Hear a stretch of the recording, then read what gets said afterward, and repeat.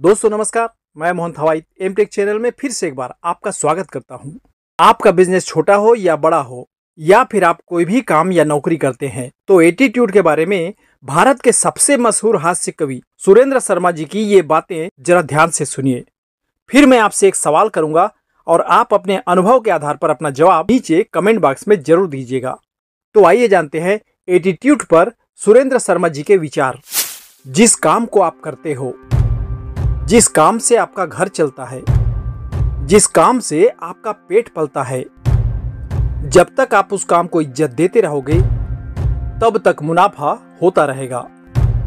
जिस दिन आप अपने काम पर बैठकर कहने लग जाओगे, आजकल इस काम में कुछ नहीं रखा, उसी दिन से उसमें घाटा होना शुरू होता चला जाएगा।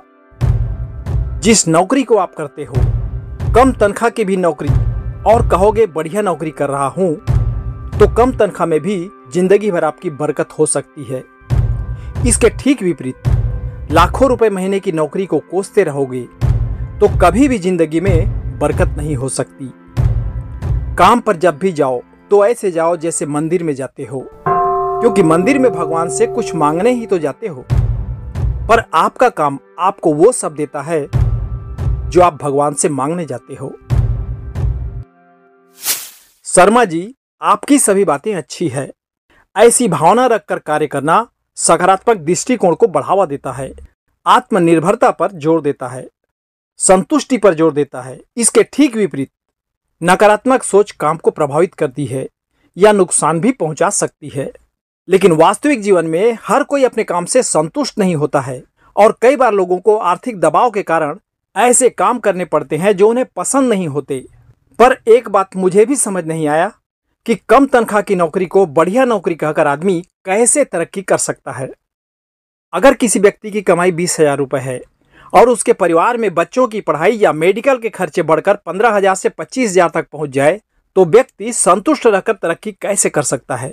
या फिर जो लोग अपना मंथली गोल सेट करते हैं और टारगेट तक नहीं पहुँच पाते, इसका मतलब क्या यही होना चाहिए कि किसी ने पाँच लाख का गोल सेट किया, लेकिन महीने में एक लाख की सेल तक ही पहुँच पाया तो उसे इस सच्चाई को स्वीकार करना चाहिए कि उसने अपनी क्षमता का उतना ही इस्तेमाल किया जितना उसे प्राप्त हुआ। तो असंतुष्टि किस बात? आप निराश, हताश या परेशान मत होइए, क्योंकि अगर आपने गोल सेट किया ही नहीं होता तो उतना भी नहीं मिलता जो प्राप्त हुआ है। जो परिणाम आपको मिला, उस पर संतुष्ट होना चाहिए, मगर लक्ष्य का पीछा करना नहीं छोड़ना चाहिए। इस बारे में आपकी क्या राय है, अपना विचार कमेंट बॉक्स में ज़रूर लिखें।